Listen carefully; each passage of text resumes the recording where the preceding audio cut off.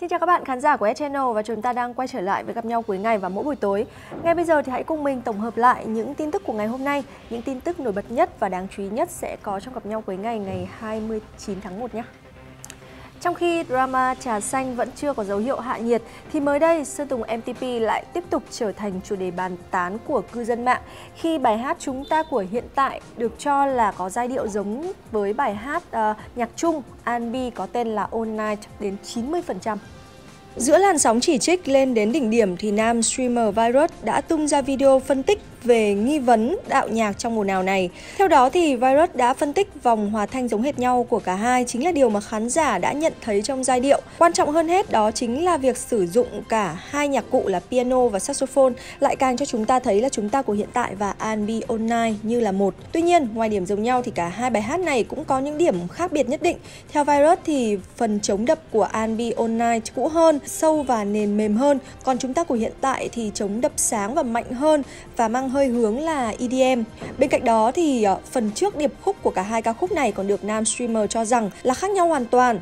Duy chỉ có phần hợp âm được lặp lại ở hai bài hát thì có vẻ là hơi giống nhau. Sau một thời gian dài phân tích thì Virus đã kết luận rằng về melody và phần lời hoàn toàn khác nhau, còn phần hòa thanh thì có phần giống nhau nhưng lại có chỗ không giống. Video này thì đã được Virus tung ra vào sáng ngày hôm nay 29 tháng 1 và đã nhận được rất nhiều sự chú ý từ phía khán giả. Đến thời điểm hiện tại thì phía Sơn Tùng MTP vẫn quyết định là giữ thái độ im lặng và chưa đưa ra bất kỳ một phản hồi nào về sự việc này. Trước những diễn biến phức tạp của dịch bệnh Covid-19 thì trong ngày hôm nay 29 tháng 1, rất nhiều trường đại học trên địa bàn thành phố Hà Nội đã tạm thời cho học sinh tạm nghỉ học để cùng nhau chống dịch. Hiện tại, Bộ Y tế cho biết Việt Nam chúng ta đã ghi nhận thêm 53 trường hợp mắc COVID-19. Tại Hải Dương 48 ca, Quảng Ninh 3 ca, Hà Nội 1 ca và Bắc Ninh 1 ca, thêm một ca bệnh nhân đang nhập cảnh. Như vậy, từ ngày 25 tháng 1 đến nay, nước ta đã có tổng cộng 149 trường hợp mắc tại 5 tỉnh, thành phố, bao gồm Hải Dương 130 ca, Quảng Ninh 15 ca, Hà Nội 2 ca và Hải Phòng 1 ca. Về tình hình các bệnh nhân nhiễm chủng mới của virus SARS-CoV-2 thì vào sáng ngày hôm nay, bệnh nhân số 1552 là nữ công nhân ở Hải Dương đã được chuẩn chẩn đoán bị viêm phổi, phổi có tổn thương ở dạng nốt và kính mờ kèm theo triệu chứng sốt. Còn bệnh nhân số 1553 là nhân viên an ninh tại sân bay Vân Đồn đã phải thở oxy liều thấp phổi đông đặc 20%. Bệnh nhân sau đó thì đã được chuyển từ khoa nội tổng hợp tới khoa cấp cứu của bệnh viện nhiệt đới trung ương trong tình trạng là suy hô hấp nặng, sốt và phổi tổn thương nhiều. Liên quan tới ca nghi nhiễm ở Cầu Giấy thì theo kết quả điều tra dịch tễ, nam sinh quê ở xã Hoàng Hoa Thám, thị xã Chí Linh và trọ tại số 92 đường Nguyễn Khánh Toàn. Vào ngày 23 tháng 1 thì anh này đã đi chơi cùng với bạn là công nhân của công ty trách nhiệm hữu hạn Poyun ở phường Cộng Hòa, phường Chí Linh, thành phố Hải Dương. Người này sau đó thì đã được xác nhận là bệnh nhân 1552. Đến ngày 26 tháng 1 thì nam sinh đi Hà Nội bằng xe limousine. Trên xe có 4 đến 5 người và sau đó thì anh đã đi học bằng xe máy tại trung tâm Anh ngữ Gym tại số 65 Yên Lãng, Đống Đa, Hà Nội. Đến 21 giờ thì trở về nhà và không đi đâu cả. Trưa ngày 27 tháng 1, nam sinh này đi ăn cùng với hai người bạn trú tại à, phường Mễ Trì Thượng, quận Nam Từ. Từ Liêm ở một nhà hàng ở đầu ngõ 92 Nguyễn Khánh Toàn và tiếp xúc với 4 người phục vụ không đeo khẩu trang. Cho tới thời điểm được xét nghiệm thì nam sinh trên đã tiếp xúc gần với tổng cộng 19 người. Ngoài ca nghi nhiễm này thì đến nay thành phố Hà Nội có một ca ghi nhận COVID-19 là bệnh nhân số 1581 trú tại khu đô thị Tham City. Sau khi ghi nhận được hàng loạt các ca mắc COVID-19 ở Hải Dương, Quảng Ninh và thêm một ca mắc mới tại Hà Nội, hiện tại nhiều trường đại học trên địa bàn thành phố Hà Nội đã cho sinh viên tạm dừng đến trường. Các trường học này cũng ngừng tổ chức các hoạt động tập trung đông người, điều chỉnh lịch nghỉ Tết Nguyên đán để phòng chống dịch bệnh. Nhiều học sinh, sinh viên ngày hôm nay cũng đã tranh thủ ra bến xe để trở về quê nghỉ Tết sớm. Tin tức tiếp theo có trong ngày hôm nay, trên các trang mạng xã hội ngày hôm nay liên tục lan truyền những bình luận gây phẫn nộ của chị gái ruột Chipu. Trong đó thì cô đã lên tiếng chê bai giọng hát của Sơn Tùng MTP là giọng nhà quê. Cụ thể là trong một bài đăng về nhận định trong câu chuyện ồn ào tình cảm giữa nam ca sĩ gốc Thái Bình và hai người đẹp Thiều Bảo Trâm và Hải Tú.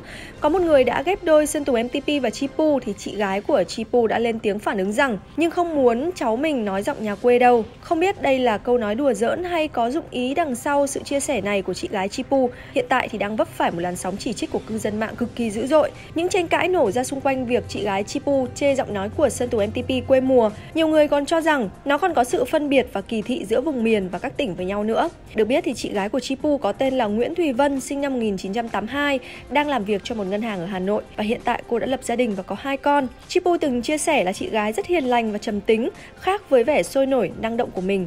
Và đồng thời thì chị gái vẫn luôn ủng hộ cho Chipu trong trong quá trình hoạt động nghệ thuật. Những ngày gần đây thì à, Sơn Tùng luôn vướng phải rất nhiều những ồn ào, tình ái trước nghi vấn chia tay với Thiều Bảo Trâm sau 8 năm âm thầm hẹn hò vì Hải Tú. Theo đó thì Hải Tú được cho chính là tiểu tam trên chân vào mối quan hệ giữa Thiều Bảo Trâm và Sơn Tùng. Thông tin này nổ ra thì khiến cho Tùng và Tú đã hứng chịu rất nhiều những sự chỉ trích từ phía cư dân mạng. Và hiện nay thì các bên đều vẫn im lặng và chưa hề lên tiếng. Ekip bộ phim Trạng Tí của Ngô Thanh Vân và đạo diễn Phan Gia Nhật Linh vẫn đang phải tiếp tục đối mặt với làn sóng chỉ trích rất dữ dội từ phía khán giả khi mà mới đây, một đoạn clip Trạng Tí đã xúi các bạn nhỏ trong làng Phan Thị, múc nước ở dưới ruộng và đổ xuống giếng đã xuất hiện, lại khiến cho khán giả một lần nữa nổ ra tranh cãi quyết liệt.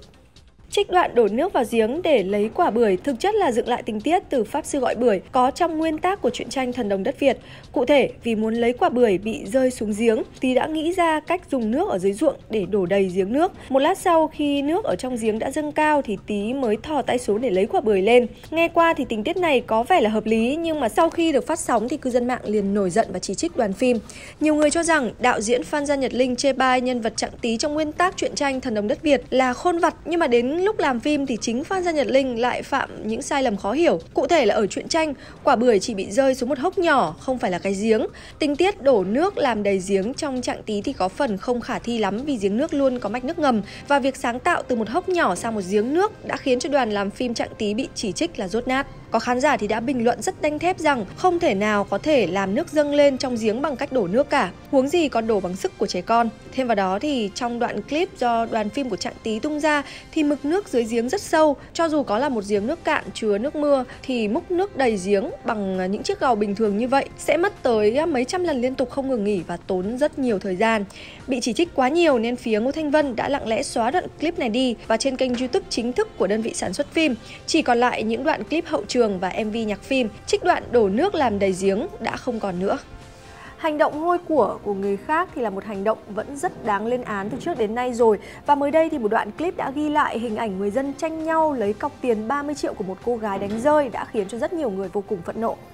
Vào ngày 29 tháng 1 thì mạng xã hội đã lan truyền một đoạn clip dài khoảng gần một phút đã ghi lại cảnh một cô gái chạy xe máy không may bị rớt một cọc tiền mệnh giá 500.000 đồng xuống đường. Lúc này thì một người phụ nữ gần đó và những người đi đường đã giành giật nhau số tiền này và hiện tại đang gây xôn xao. Chị BT, 24 tuổi, quê tại Long An, nhận là người đã đánh rơi tiền trong đoạn clip này. Theo như chị T thì vào khoảng 11 giờ 30 ngày 28 tháng 1, chị rút số tiền 30 triệu đồng từ một ngân hàng ở quận 1 và chạy xe máy sang quận 7 để trả nợ cho bạn. Khi đang đi trên đường số 4 thuộc phường Tân Hưng, quận 7, cọc tiền trong túi áo đã rơi xuống đường nhưng mà chị không hay biết. Khi có người chạy xe máy ở phía sau hô hoán thì chị này mới biết và quay lại nhưng mà tiền thì đã không còn nữa. Không thấy tiền trên đường, tôi hỏi một anh chạy xe ôm mới biết là có cô bán nước tại khu vực này và một số người đi đường khác đã nhặt được. Tôi đến năn nỉ cô bán nước để xin lại tiền nhưng mà không được. Tôi khóc và định báo công an thì những người này nói là chỉ nhặt được 4 triệu đồng và đưa lại cho tôi. Chị T đã chia sẻ như vậy. Chị T sau đó đã nhờ người dân trích xuất camera và đến công an phường Tân Hưng để trình báo vụ việc này. Đó là số tiền tiền tôi đi làm và tích góp trong cả một năm qua để trả nợ. Giờ tiền mất, tôi không biết lấy gì để trả cho bạn nữa. Tôi mong mọi người nhặt được thì hãy cho tôi xin lại. Chị T đã nghẹn ngào chia sẻ như vậy. Các bạn thân mến, chúng ta đã cùng nhau tổng hợp lại những tin tức nổi bật và đáng chú ý có trong ngày hôm nay gặp nhau cuối ngày 29 tháng 1. Cảm ơn các bạn đã theo dõi. Còn bây giờ xin chào. Chúc các bạn ngủ ngon và chúng ta sẽ gặp lại nhau vào tối ngày mai nhé.